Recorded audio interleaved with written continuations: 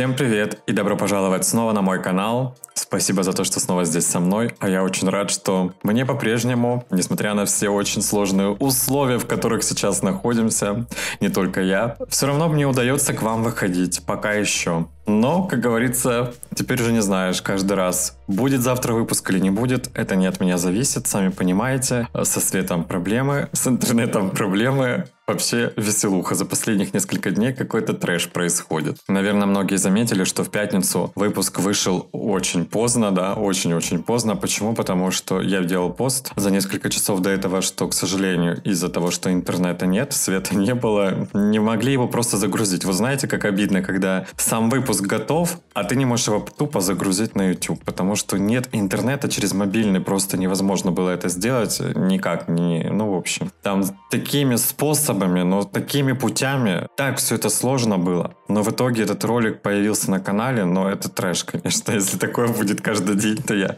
я к такому не готов. Но знаете, с каждым днем все веселее, в кавычках и веселее. Но несмотря ни на что, э, все равно продолжаем радоваться, да, жить, держаться и продолжать заниматься своим делом. Даже вот в таких вот не совсем, мягко говоря, комфортных условиях. Мне кто-то написал по поводу света, Женя, что ты утрируешь. Там просто попросили какие-то приборы дополнительные дополнительные выключить. Думаю, какие приборы? Я шел домой в пятницу, друзья, вот в тот день, когда этот выпуск невозможно было загрузить, было где-то половина восьмого вечера. В домах света нет, на улице света нет. Ты идешь просто во тьме. Вот вообще ничего не видишь. И даже страшно не то, что кто-то сейчас может вылететь с какой-то стороны тебе, понимаете, вырубить, забрать телефон или еще что-то. А я больше боялся того, что я сейчас куда-то ногой ступну не туда и сломаю себе ноги или еще что-то. Ну, в общем, до дома-то я дошел спокойно спокойно, а вот заходя уже в дом, я себе разбил губы. В общем, без травм не обошлось. У меня же, когда в подъезд заходишь, одна дверь. Еще, оказывается, вторая есть. Я на нее никогда не обращал внимания, потому что она всегда была открыта. Она всегда была открыта, ну, чтобы, знаете, две двери никогда не трогали. А сейчас, видимо, из-за того, что стало холодно, и они стали закрывать вторую дверь. А она стеклянная, поняли? Она стеклянная. То есть это не то, что там обычная дверь, которую сложно заметить даже в темноте. Она просто стеклянная, и света нет. Я открываю первую дверь, захожу в подъезд с уверенностью и лицом вписываюсь в эту дверь и понимаю сразу же, вот в первые же секунды, что у меня во рту кровь. Я думаю, боже, мои зубы на месте вообще. Слава богу, зубы на месте, но губа у меня, конечно, верхняя стрёмная стала. Зато такой, знаете, экспресс-курс, как быстро увеличить себе губы, как у Светланы Лободы. Просто лицом в дверь, и ваши губы будут еще больше. Да, все это, конечно, смешно, то есть вы понимаете, да, какой ценой мне достаются ролики в прямом смысле слова, что, господи, тут уже живым бы остаться, пока дойдешь. Трэш, конечно. Трэш, не знаю. Вот эта ситуация, это, знаете, я вот улыбаюсь, это не обращайте внимания, это истерическое. Я сегодня проснулся из-за того, что постоянно свет туда-сюда отключают, включают, да, бывает они как выключат и нет полдня света, а бывает резко могут включить-выключить, вот эти перепады, короче, микроволновка моя сказала мне, все, пока. Я думаю, так, что дальше осталось, чтобы холодильник холодильник накрылся, вообще будет весело. Я вообще не ожидал, что микроволновки такие дорогие. Слушайте, я зашел в интернет, думаю, ладно, сейчас, короче, быстренько куплю что-то по дешевке. А, посмотрел на цены именно по дешевке. Мне кажется, сейчас уже по дешевке ничего не найдешь. Короче, что не день, что веселуха. Но есть что-то и хорошее. Я себе купил фонарик. Понимаете, свечи найти нигде не могу, потому что, видимо, их все раскупили. Кстати, вот это я тупанул, конечно. Надо было реально заказывать откуда-то, ну, найти какого-то поставщика свечей, свечей, фонариков. Я мог бы сейчас обогатиться, на этом заработать, потому что вы не поверите, но цены на фонарики взлетели. Это просто кошмар. Я, я когда подошел, э, увидел цену на фонарик, на самый маленький, дешевый. Я говорю, вы что, обалдели, что ли, совсем? Почему он так дорого стоит? Фонарики уже по цене, понимаете, микроволновки скоро будут или телевизора. Короче, то, что в тренде, что называется сегодня, то и в цене сразу поднимаются. Но видите, я все равно улыбаюсь, с разбитой губой записываю вам выпуска. Губу я нормально так разбил. Слава богу, что у меня зубы, я же говорю, я, так, я испугался, думал, у меня сейчас передних зубов не будет. Слава богу, они остались. Короче, день это дня не легче. Микроволновка, все. Да, ну придется покупать, потому что, не знаю, пойду поищу какую-то по магазинам дешевую самую, такую, знаете, чтобы чисто разогревать и все. Я ее больше для другого не использую.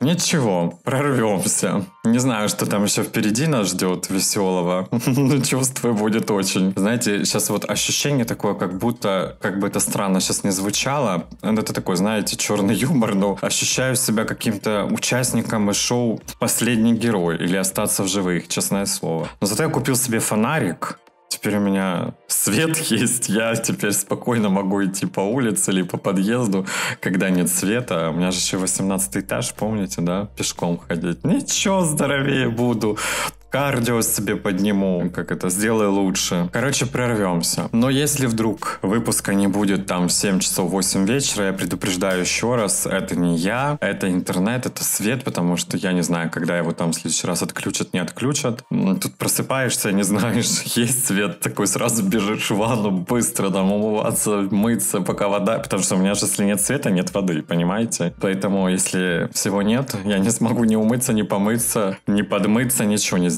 Но все это ерунда на самом деле. Самое главное, чтобы все были здоровыми, живыми, сытыми и со здоровой психикой. Хотя, наверное, сегодня это маловероятно, но, по крайней мере, старайтесь как-то что-то делать хорошее, не знаю, смотреть позитивное, чтобы окончательно ее не разбить уже, а, так сказать, уберечь. Уберегайте себя. Купайте фонарики, и будет вам счастье. Может быть, кто-то свечи уже все раскупил, я не знаю. Кстати, я не думал никогда в жизни, что такая проблема будет найти свечи. Ну да ладно, теперь у меня есть фонарик, так что все нормально прорвемся. Главное, чтобы был хотя бы иногда интернет и свет, чтобы я мог для вас записывать ролики. А я напоминаю для тех, кто присоединился только недавно сюда. Если вы вдруг не хотите слушать мое вступление, мою болтовню, здесь есть тайм-коды, поэтому пользуйтесь ими, и будет вам счастье. Переходите сразу к новостям. Да, вот такое у меня было сегодня вступление. Несмотря ни на что, хочу всем пожелать, чтобы эта неделя всем принесла только хорошие эмоции, новости. Как бы сложно не было, я понимаю, особенно нам в Украине. Ой, да, мы тут, конечно. Но ничего, мы все равно сильные, мы совсем справимся. У нас другого выбора нет, понимаете? Вот нет другого у нас варианта. Мы не рассматриваем его вообще. Света нет, отопления нет, плевать. Мы выживем. Мы все равно выживем. Так что, друзья, имейте в виду, что я тут работаю в таких полевых условиях, и это не просто слова, это реальность, это правда. Когда у тебя то интернета, то света нет, еще при этом я умудряюсь все равно записывать, да, все равно ролики выходят. Цените это, пожалуйста. На этом мое вступление сегодня все. Я всем желаю прекрасной недели впереди, крепкого здоровья, чтобы никто не болел. И не отчаивайтесь, и не расстраивайтесь, как бы не было сложно. Помните, что э, даже если что-то вам кажется невозможным, что это тупик, это только вам кажется. Все равно все можно решить. Как видите, с разбитой губой, с, с отсутствием интернета и света, который периодически отсутствует. Все равно, видите, я выхожу к вам в эфир, работаю, поэтому все окей. Немного, может, притормаживаю, ну, то такое уже, то не важно. Все, переходим к новостям. Всем прекрасного настроения. Надеюсь, мне удалось вам немножко его приподнять, отвлечь вас от всего ужаса, который происходит сегодня. Ну а теперь переходим к новостям. Погнали. Чулпан Хаматова дала очередное интервью, в котором рассказывала, ну, по сути, все то же самое. И также она еще раз сделала акцент на том, что из-за того, что она уехала в вынужденную иммиграцию, конечно, все в жизни поменялось. И она была настолько в отчаянии, что даже рассматривала варианты обычных профессий. Вот она даже говорит, что я была готова на все, стать таксистом, заниматься доставкой еды. Даже не могла себе представить, что опять смогу выйти на сцену, но слава богу, что она вышла. Я все-таки считаю, что каждый должен заниматься заниматься своим делом. Если у нее прекрасно получается играть в театре и в кино, то пусть продолжает это делать. Конечно, я понимаю, что всякое в жизни бывает. Сегодня я тоже тут вам вещаю своим Роттердамом в микрофон, а завтра не знаешь, что будет. Поэтому, если придется, пойду доставлять еду. Главное, чтобы еда была. Мы народ не гордый. Бывший главный редактор «Эль» и стилист Екатерина Мухина рассказала о работе с Людмилой Гурченко и Светланой Лободой. И вот что она говорит по поводу Лободы. Со Светой Лободой у нас была такая ситуация. Мне дают кредит доверия и в 90% случаев идут навстречу. Но такие бренды, как Chanel, Dior и Prada, должны все согласовывать с французским и итальянским офисом. Они изучают профайл звезды, смотрят, не было ли скандалов. Это долгий процесс. Так что Светлана Лободой все было очень сложно. А вот что по поводу Гурченко. А с Гурченко было просто невыносимо и очень сложно работать. Вспомнила одну съемку с Людмилой Гурченко. Она меня всю съемку унижала так. Она в принципе не скрывала, что не любила женщин. Она мне говорила, эй ты, где ты, девочка с брошками? Когда я в работе, я готова стерпеть все. Мне нужен результат, поэтому молчу и улыбаюсь и работаю. В общем, Екатерина Мухина сказала, что с Людмилой Горченко было очень сложно. Но я думаю, что это ни для кого не новость. Все знают, что Людмила Гурченко была талантливой актрисой, безусловно, но характер у нее был еще тот.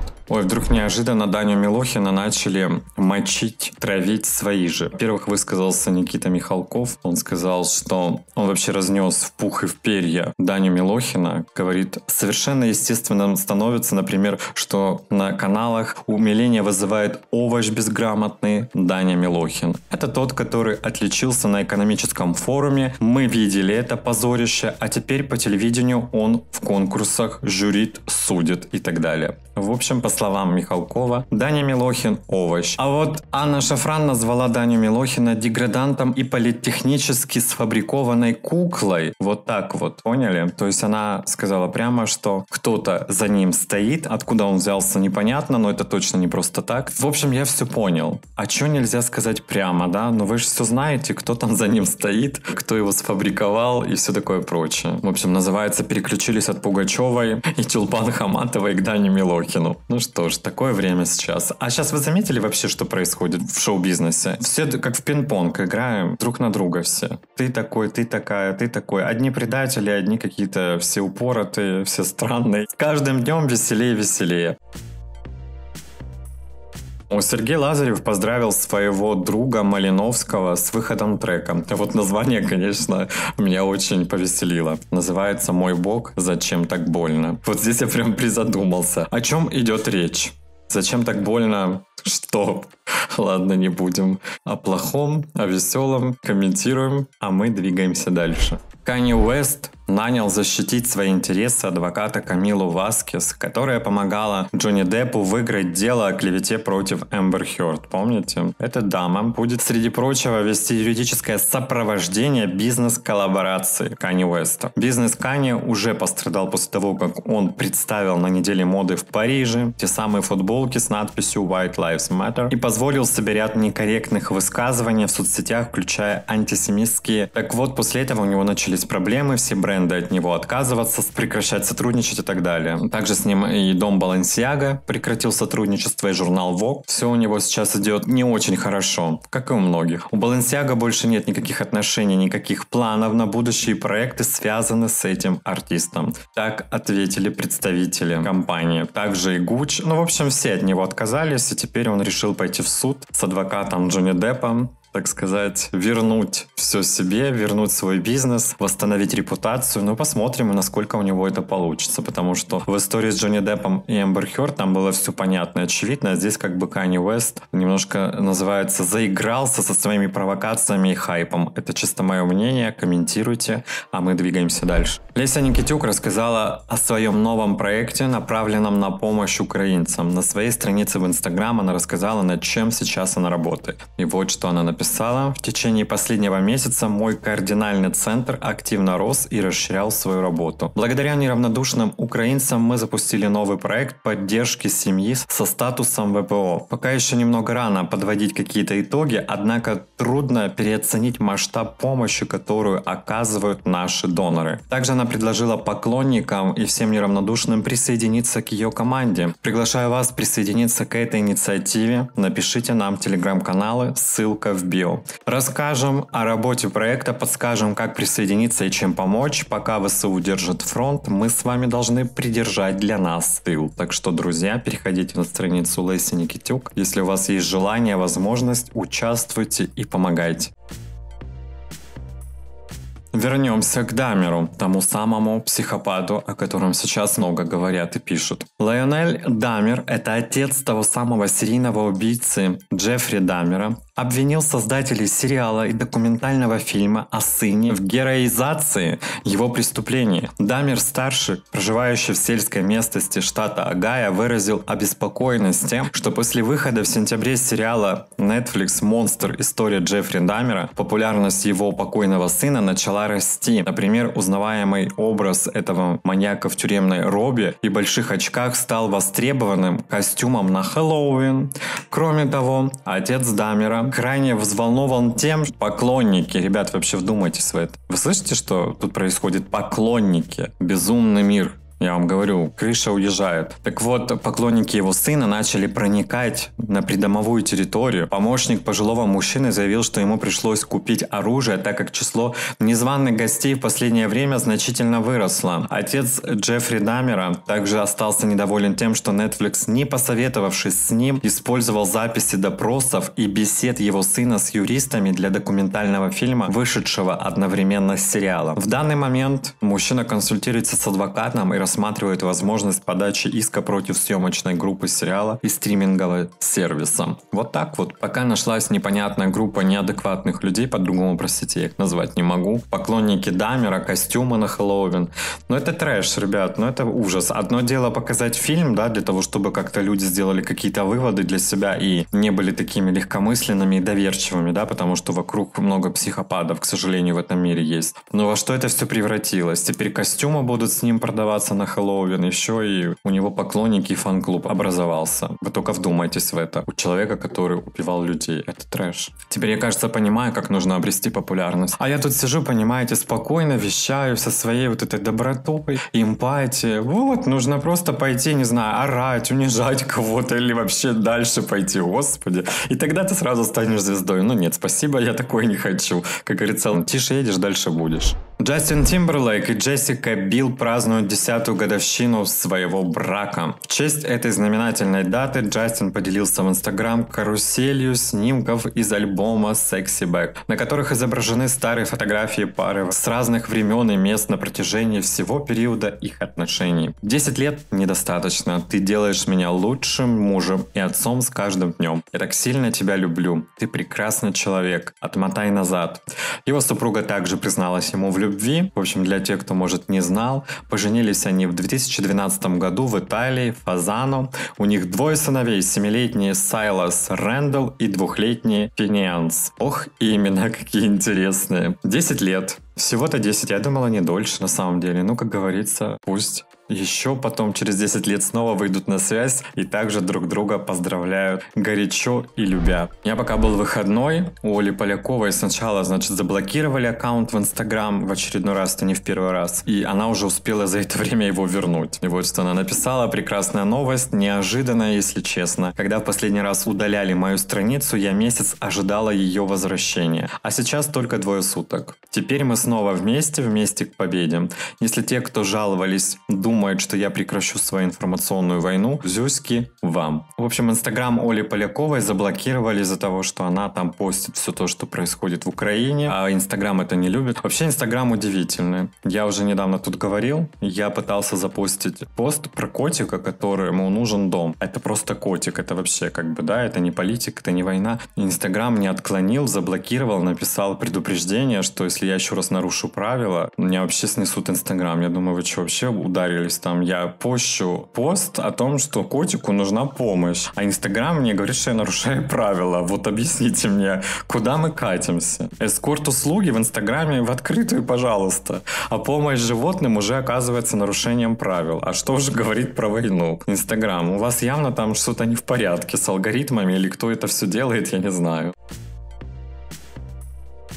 Телеведущая Каролина Ашион рассказала о том, что очень мечтала иметь детей, но, увы, к сожалению, этого не случилось. Сейчас ей 47 лет, и она считает, что очень затянуло время. Биологические часы у любой женщины есть, и к ним нужно прислушиваться. Если бы можно было вернуть к отметке 30-35 лет, это начало моих отношений с Дмитрием, то я бы сейчас все переиграла. Я очень мечтала, что у нас будет очень красивый ребенок. Это был первый мужчина в моей жизни, от которого я очень хотела иметь ребенка. Я очень затянула время. Теперь уже мне нужно воспринимать себя в этом мире немножко многоточие. Но не так, как я мечтала, потому что я хотела иметь ребенка. У меня даже на заставке сейчас на телефоне есть девочка, которую я представляла. Это она. И мне всегда хотелось, короче говоря, это очень болезненная тема. Я не знаю, может быть, эта девочка на заставке моего телефона так и останется на всю жизнь моей мечтой. Говорят, что дети выбирают своих родителей. Эта теория мне нравится. Или мой ребенок еще меня не выбрал. Или просто мне не суждено стать мамой. Она делала процедуру ЭКО несколько раз, но, увы, чудо не произошло. В общем, она очень сожалеет, что в свое время в погоне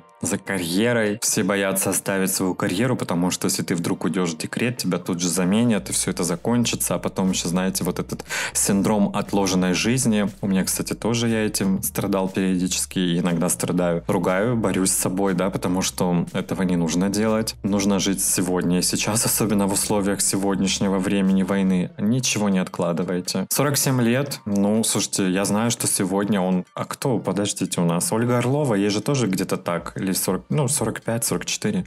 Она же вроде беременна, поэтому если очень сильно хотеть, все может произойти. Ну а насчет того, чтобы взять ребенка из приюта, она об этом не задумывалась. Ну давайте пожелаем ей, чтобы все было у нее так, как она того хочет. Позитив впервые после развода рассказал о своих новых отношениях. И вот что он сказал. У меня есть девушка. Многие уже могут догадываться и знают об этом. Я думаю, что сейчас не время об этом говорить. Отношения зародились давно, еще до начала войны. Кто именно стал избранницей, он не хочет говорить, но сказал, что она также работает в сфере шоу-бизнеса, а кем непонятно. В общем, он признался, что прежде чем между ними что-то там зародилось, у них была долгое время дружба. Вот так. Так что у позитива кто-то есть, человек из шоу-бизнеса, но не уточняется пока что кто. Может, у кого-то есть какая-то информация, делитесь. Умер владелец Red Bull Дмитрий Матещиц. Ему было 78 лет. Австрийский миллиардер придумал знаменитый энергетик в 40 лет и заработал на этом целое состояние. В последнее время у него были проблемы со здоровьем, он почти не появлялся на публике. Но я думаю, что Red Bull точно знают все. Кстати, вы любите его, пьете? Я, честно говоря, не люблю вот эти все энергетики, как-то я им не доверяю. Ну, это чисто мое. Шакира показала в новом клипе, который не так давно у нее вышел, в какой ад превратил ее жизнь изменщик Жерар Пике. Вырвал из груди сердце и растоптал его в прямом смысле слова. Такого клипа откровенного я еще никогда не видел у Шакиры. В общем, ты бросил меня из-за своего нарциссизма, ты не дал мне и половины того, что я дала тебе. Вот так поет в песне Шакира. В общем, песня посвящена бывшему. Ну и что вы, как говорится, знаете о месте? Жерару Пике, видимо, совсем скоро придется надеть майку с именем своей уже бывшей гражданской жены. Она заключает контракт со Spotify, согласно которому имена музыкантов наносятся на форму футболистов футбольного клуба Барселона. Они уже выходили на поле с лого Дрейка. Теперь они выйдут с лого Шакиры. Как говорится, Шакира, да, она решила своего бывшего муженька, так сказать, добить окончательно. Вернемся к истории Анны Большовой и ДТП тому самому смертельному. Во-первых, тут появилась информация, что за Анной Большовой числится 100 штрафов. В 2013 году она купила машину Audio Q3 и за это время нарушила ПДД сотню раз и все штрафы оплатила. Она уже попадала в аварию. В 2017 году она выехала в стоявшую машину. В общем, это не первое ее ДТП, но я думаю, у кого этих ДТП не было, к сожалению. Некий адвокат рассказал, что может грозить Ане Большовой. Его цитата «Деяние рассматривается как повлекшее по неосторожности смерть человека. Наказание подразумевается в виде принудительных работ до 4 лет с лишением права занимать определенные должности, либо заниматься определенной деятельностью до 3 лет или лишения свободы до 5 лет. Но это так говорит адвокат, но я думаю, что ничего этого не будет. У женщины, которую сбила Анна Большова, обнаружили в крови 4 промилле алкоголя. В общем, это очень много. Была хорошо пьяная, поэтому так все, к сожалению, произошло. Но я думаю, что Анна Большовой точно не будет никаких проблем. Я так почему-то думаю. Но в любом случае время покажет. Российские власти проверяют Веру Брежневу на экстремизм. Песню, которую Вера Брежнева не так давно представила вместе с Таяной «Вышиванка». Что-то там нашли экстремистского. Ну и теперь решили заняться Верой Брежневой. У меня уже нет слов, честно. Но понятное дело, что Вера Брежнева посмела открыть рот, поэтому, естественно, ее будут сейчас поливать всем, чем только можно. Но я думаю, что адекватные люди все сами понимают. Мне не нужно иногда вот настолько все детально разжевывать и объяснять. Вы же понимаете, да? Тот, кто поддерживает власть, они молодцы, они очень крутые. Им будут вручать звания, как, например, этой невменяемой Чечериной. Недавно там что-то присвоили, какое-то звание, заслуженное, народное, неважно. Это все не имеет никакого значения, потому что она просто творит ужас и кошмар и хлопает в ладоши, да. А те, кто посмели открыть свои рты, естественно, их это всюду убирают. Их не просто убирают, их уничтожают, даже несмотря то, что они уехали, их все равно, получается, продолжают дальше травить и поливать непонятно чем. С тем же Акуниным, его тоже сейчас там все отовсюду убирают, его имя просто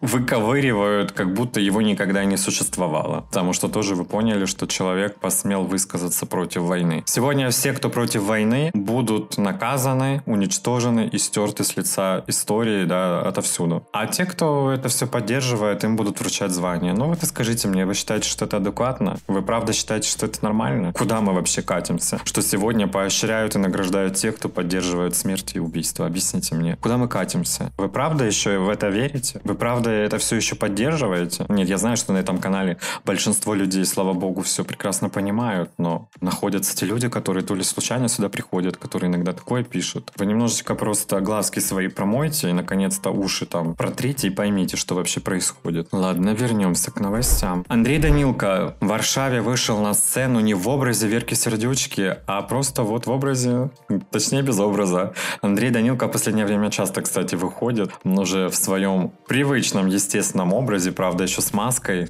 на подбородке. Благотворительный тур Сердючки по городам Польши уже завершился. 21 октября феерическим концертом в Варшаве, который открыла певица Роксолана. Вишенкой на торте стала финальная песня Dancing Lasha Тумбай. Ее Сердючка вместе с бендом исполнила без сценических костюмов. Вот, собственно, можете посмотреть. Кто там в Польше, кто был на концерте Сердючки, пишите свои комментарии.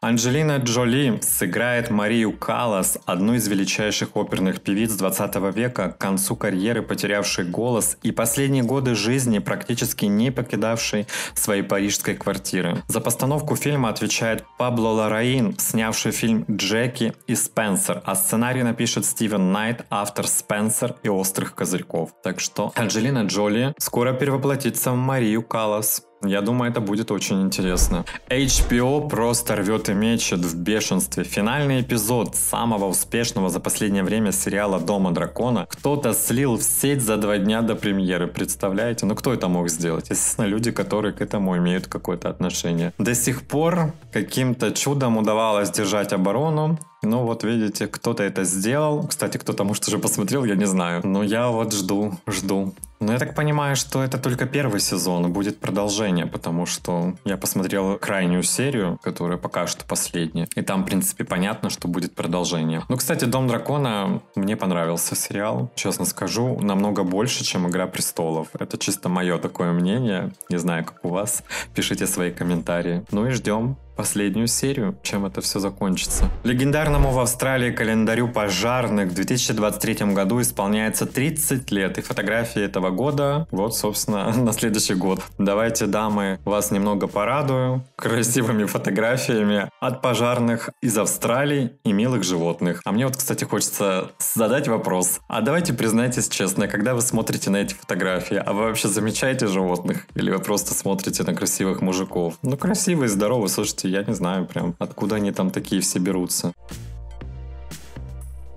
Парень потратил 120 тысяч долларов на пластику, чтобы стать двойником Бритни Спирс. По словам парня, прекращать свою трансформацию он не собирается. Себя он считает чем-то вроде произведения искусства, которое может бесконечно приближаться к совершенству. Фанат признался, что влюбился в Бритни. Ее творчество после выхода «Oops, I did it again». Она всегда будет вершиной красоты в моих глазах, и я всегда буду стремиться к такой красоте, как у нее. Вот настолько доходит фанатизм у некоторых людей, что они даже перевоплощаются в их образ. Инна Чурикова впервые после госпитализации вышла на связь, и вот что она говорит. Как только организм скажет подъем, я буду играть. В общем, настрой у Инны Чуриковой хороший, и это замечательно. Давайте пожелаем ей здоровья. На Регину Тодоренко подают в суд. Дарина Мишина решила подать встречный иск в суд на Регину Тодоренко. Дарина Мишина это писательница, если вдруг кто не знает, она требует выплату вознаграждения по договору авторского заказа, а пока она напечатала книгу. И вот что она говорит. Я напечатала книгу и записала аудиоспектакль, чтобы собрать доказательную базу для суда. Несмотря на отсутствие договора в письменном виде,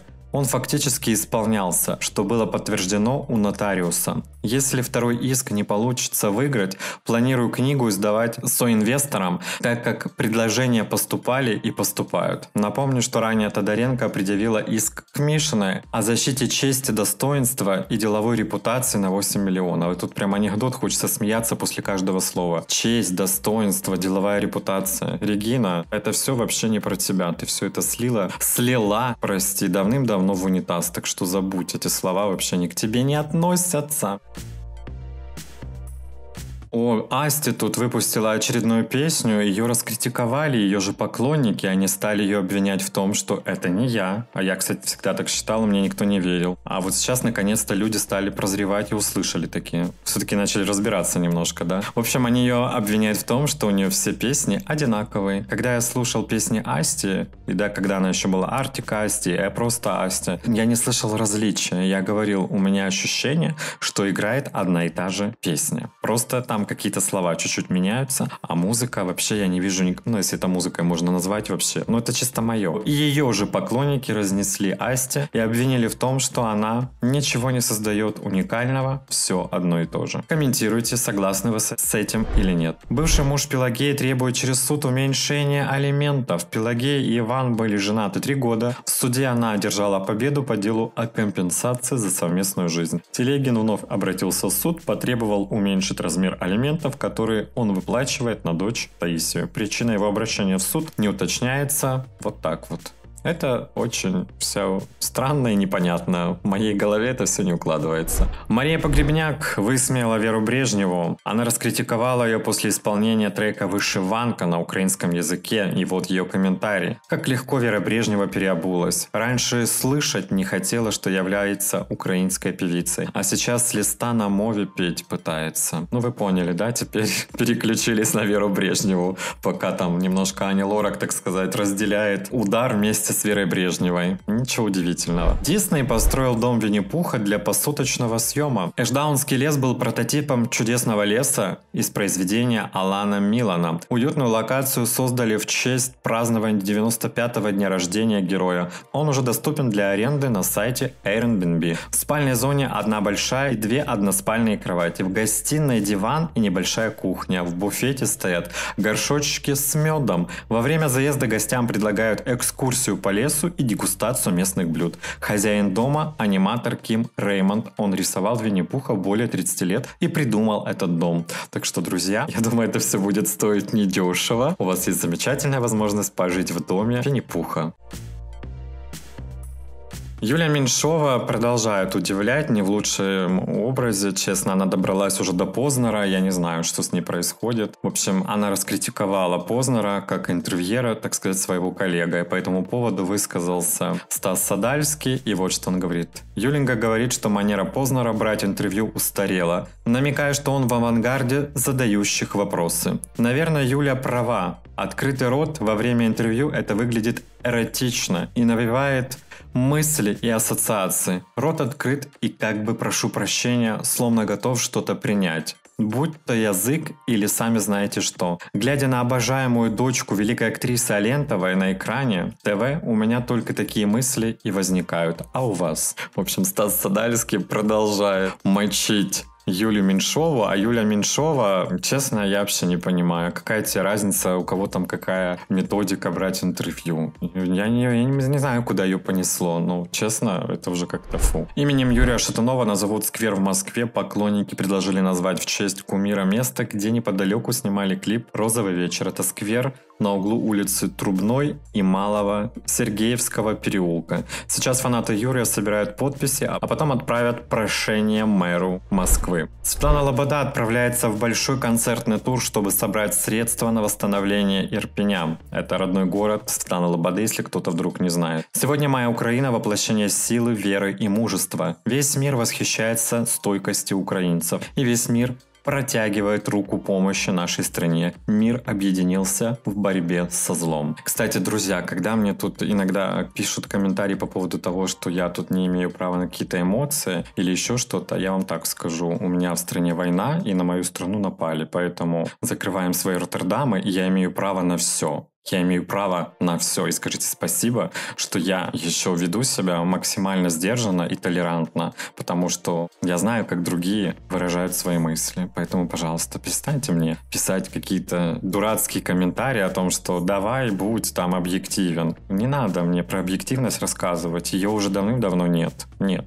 Когда война, это война, извините, по-другому уже не будет. Совет национальной безопасности и обороны Украины, СНБО, ввел санкции против нескольких артистов, которые молчат или поддерживают войну. В список попали Аня Лорак, Таисия Павалий, Анна Седокова, Регина Тодоренко, Николай Басков, Ольга Бузова и многие другие. Санкции предусматривают блокирование активов, запрет торговых операций и вывод капитала из Украины, аннулирование лицензий и разрешений и не только. Также подсанкционных лиц лишат государственных наград Украины и других форм отличия. В общем, все, что у Ани Лорак, Регины Тодоренко и у Таисии Повали здесь есть, и у Седоковой, всего этого они лишатся. Абсолютно всего. И вот до чего все дошло, что даже сын Таисии Повали прокомментировал внесение маму свою в санкционный список. Он сказал, что его маму нужно переименовать Таю Лиху, то есть запретить все, что она издавала после 2004 года. И он сказал, что артистка поддалась пропаганде Российской Федерации. Вот вам и пожалуйста, когда родной сын Таисий Павалей отрекся уже фактически от своей мамы. Вот до чего дошло все.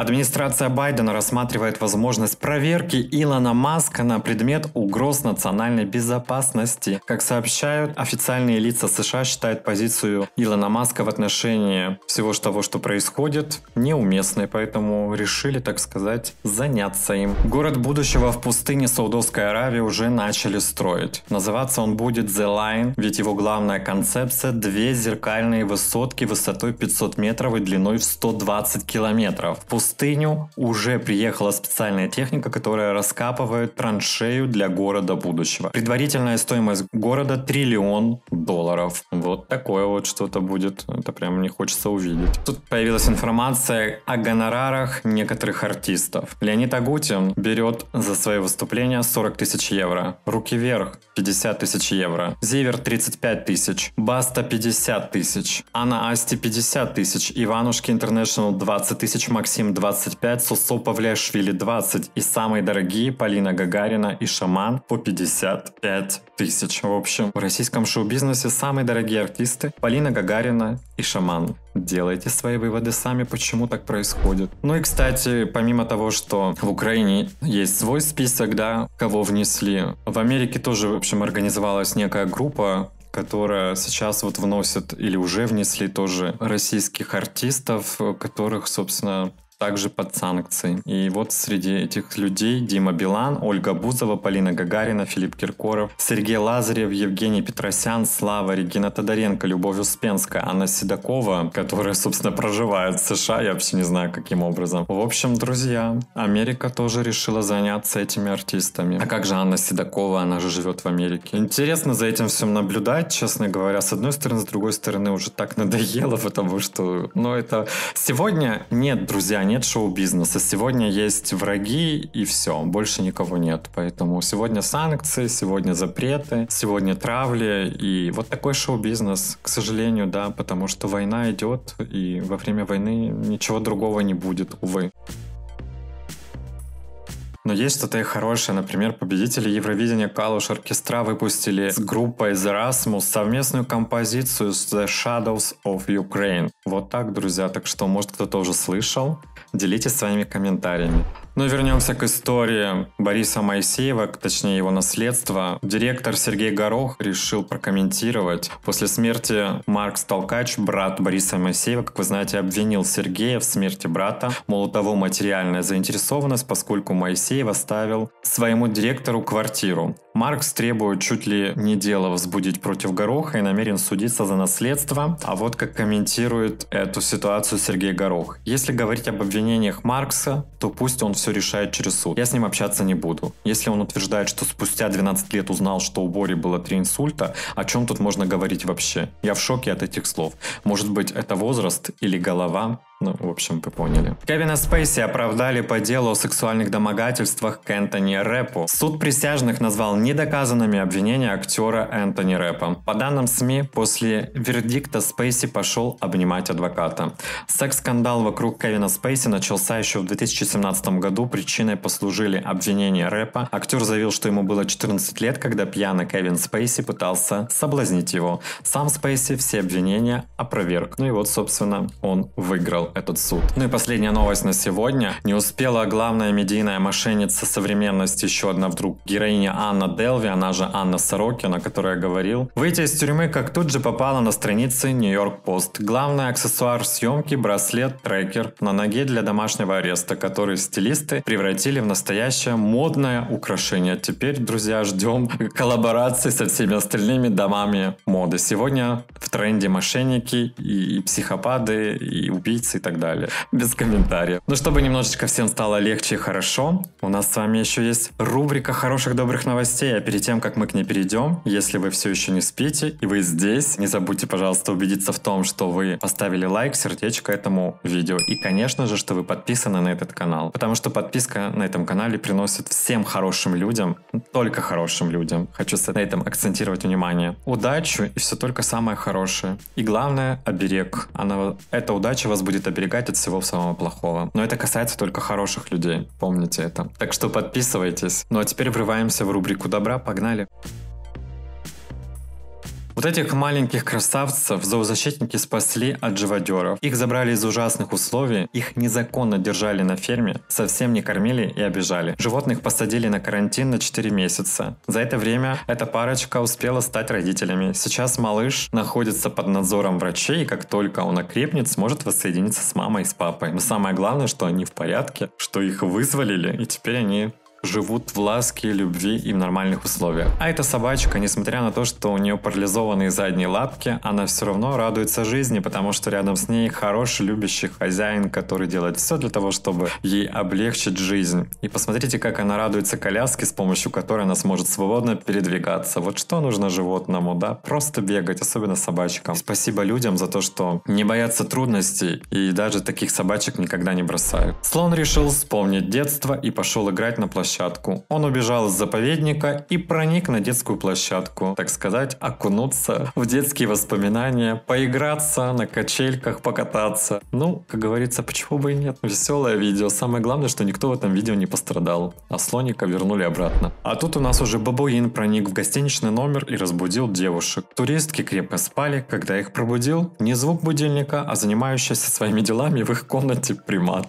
Он решил не церемониться и доел остатки их ужина. Постояльцы отеля вежливо попросили бабуина уйти, тот спокойно вышел через балконную дверь. Конечно, он спокойно еще докушал все, а потом отправился по своим делам. Ослика бросили прошлые хозяева, и он отправился слоняться по просторам. К счастью, его заметила девушка, которой оказалось на него не все равно. Сейчас он живет с ней, она создала для него все условия, она дала ему понять, что несмотря на то, что тебя предают, все равно нужно держать хвост стрючком и не отчаиваться никогда. Потому что так и в жизни бывает, к сожалению. Нас тоже всех людей предают другие люди. Но никогда не отчаивайтесь и давайте шанс другим людям доказать вам обратное. Кошки, собаки и медведи уже научились пользоваться дверными звонками. Теперь и козлы вступили в клуб по интересам. Этот рогатый решил проверить, дома ли его хозяин. Мужчина был на работе, когда ему пришло уведомление о том, что кто-то звонит в его дверь. Мужчина запустил онлайн-трансляцию и увидел вот это чудо по кличке Хэнк. Он решил просто прийти домой. Господи, какие они смешные. Девочка, страдающая аллопецией, впервые увидела себя другой. Парик для юной красавицы сделала девушка по имени Тиффани, у которой такое же заболевание. Она открыла свой салон, чтобы помочь страдающим от выпадения волос быть уверенными в себе. Но самое главное, что Тиффани абсолютно бесплатно делает парики детям в возрасте от 8 до 17 лет. Вот такая вот она. Молодец. Большое спасибо. Ну и последняя хорошая новость на сегодня. Коммунальщики спасли кота, провалившегося в вентиляционную шахту. Жалобное мяуканье слышал весь подъезд многоквартирного дома. Сотрудники управляющей компании определили шахту, а затем нашли квартиру напротив которой оказался котик. Жильцы разрешили снять унитаз, плитку и продолбить дыру в стене. И после трехчасовой спасательной операции из шахты наконец-то показалась серая мордочка, котик не пострадал, и самое главное, что с ним все в порядке. Всем, кто принимал в этом участие, большое спасибо. Ну вот такие вот они котики все время куда-то залезут. Все равно мы их любим. На этой прекрасной позитивной ноте я заканчиваю сегодняшний выпуск новостей. И поверьте, с каждым днем становится все сложнее и веселее в кавычках, да. Но несмотря ни на что, Друзья, я все равно буду напоминать о том, что остаться человеком это в первую очередь важно для каждого из нас. Я понимаю, что очень трудно, я понимаю, что очень сложно с этим всем справляться, но по-другому не бывает. Выплескивайте свои эмоции, выплескивайте все это негатив, не копите это все в себе. Только, пожалуйста, не на меня, потому что мне это все не нужно. А то я вам в ответку швырну, потом будет обидно, понимаете? Вы тоже не думаете, что я там, знаете, вежливый, культурный, но я, извините, иногда могу также ответить, понимаете? Я всегда стараюсь с людьми так же, как они ко мне. Хотя я все равно стараюсь лучше, но иногда люди себя ведут неадекватно. Поэтому не удивляйтесь, э, как говорится, какой привет, такой ответ. Если вы думаете, что я не могу дать по зубам, то очень даже могу. Я могу так дать по зубам, что от них ничего не останется. Поэтому не нужно меня драконить. Я добрый человек, пока меня не выбесит. Но я могу вас одним сообщением очень сильно обидеть. Но я не хочу этого делать, поэтому, пожалуйста, не нарывайтесь, не провоцируйте меня, пожалуйста. Я вас очень прошу. Потому что мои нервы тоже на пределе. А будете себя так плохо вести, будете огребать по зубам. По-другому никак сегодня, видимо, не получается. Я всегда стараюсь по-хорошему с людьми. Но, видимо, приходят люди, как приходят, они здесь постоянные, которым все не доходит и не доходит. Если вы здесь ищете в чем-то виноватого человека, вы ошиблись адресом. Идите к своим президентам, ищите их там.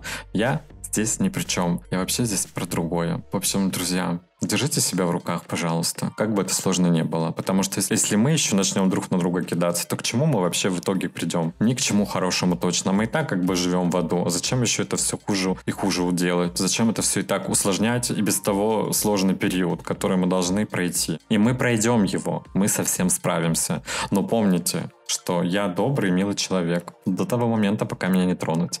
Троните меня, потом не обижайтесь. Я вас предупредил. Всем всего самого хорошего. Самое главное, чтобы все были здоровы. Остаемся людьми. До завтра. Надеюсь, что до завтра. Пока-пока.